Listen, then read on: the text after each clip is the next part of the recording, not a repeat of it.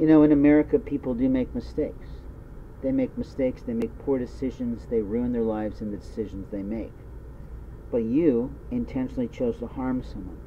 You intentionally chose to ruin someone's food, put them into a medical situation without their consent, without their knowledge, and in your version of what would make you in a sexually good mood. You see, your version of sexuality is your version. And the Lord's version of sexuality is the Lord's version.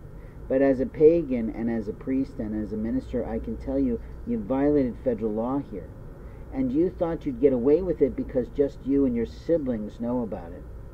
Or you've been lying to them all along about what you've done sexually perverted to your little brother's life.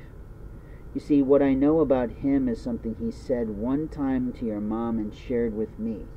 Your mom, the gossip of your family, shared it with you, and you said, Not on my watch. So let's talk about that. Your little brother has hated his body for how long? His entire life. And finally, at age 50, he had produced the body he liked.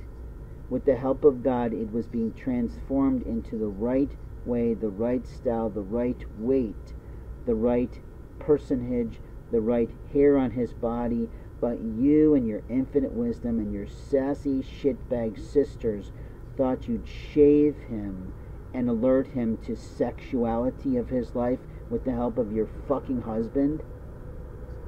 I apologize, but under what fucking guy did Steve or Jeff or your brother Jim have any fucking right to touch his body?